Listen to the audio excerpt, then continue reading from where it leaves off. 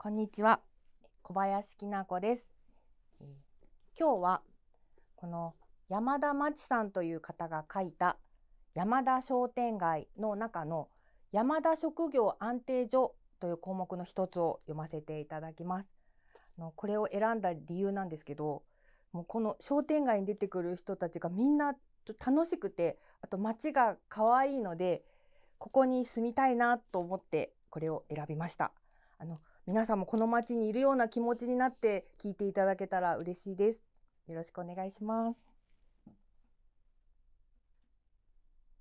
建造物耐久性確認作業員。給与。月給20万から25万。募集人数。100人。勤務時間朝9時から夕方5時かっこ残業あり資格中肉中背。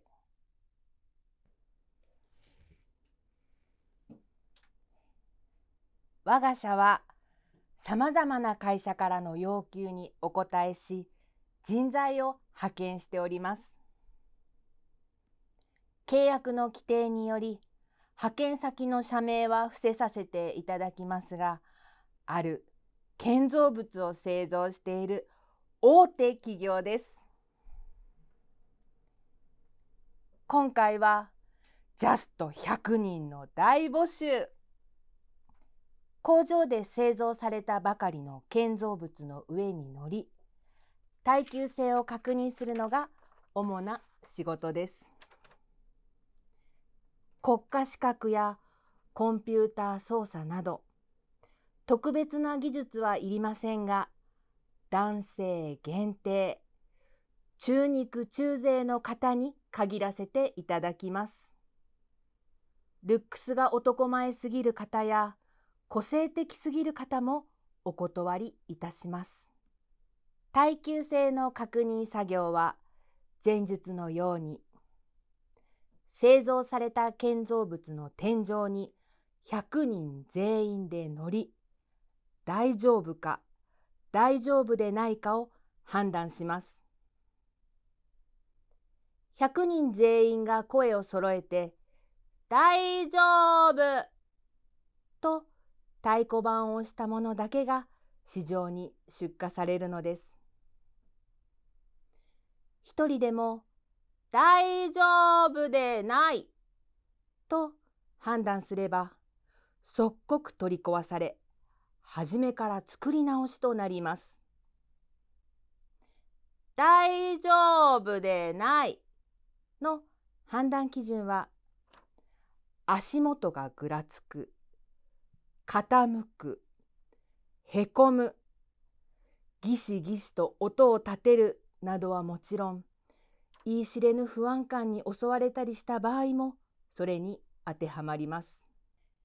100人目に乗った人の「100人乗っても!」という合図で自分が大丈夫だと判断した場合は「大丈夫!」と声を出すわけですが本当に心からその言葉を発しているのかどうかすぐ横で耐久性確認作業確認作業員がチェックしています。曖昧では許されません。なんとなく大丈夫。あ大丈夫っぽい。大丈夫じゃないの？というニュアンスで大丈夫と言ったと耐久性確認作業確認作業員に判断されると減法の対象となります。大丈夫でない建造物が市場に出回り、消費者に危険が及んでしまうことだけは絶対に避けなければいけないのです。基本的に月曜から金曜、朝9時から夕方5時の勤務となります。出社してまず初めにすることは発声練習です。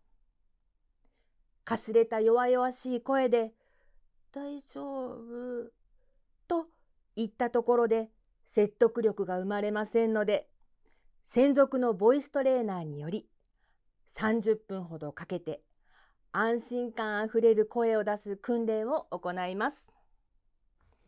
続いてその日のポジションを確認するためのミーティングが行われます。6畳ほどの建造物に100人が乗り大丈夫と確認後全員が降りるまでの所要時間はおよそ30分。迅速な行動と100人のチームワークが必要となります。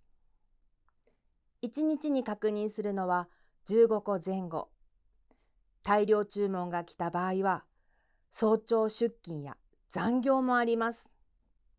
一人でも欠けると確認作業ができなくなってしまいますので欠勤遅刻早退は現金です。大手企業ということもあり給与や休日社会保険などの待遇は万全ですのでご安心ください。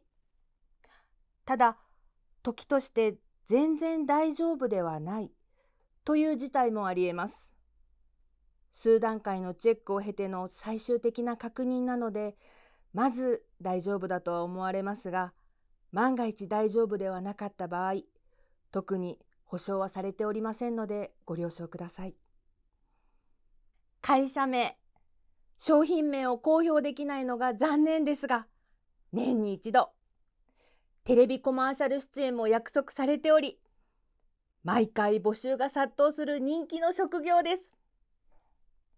我こそは中肉中背で特に個性がないという方。この機会にぜひご応募ください、